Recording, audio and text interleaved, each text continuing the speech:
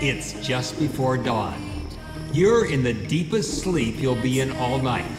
And the bedbugs are ready to strike.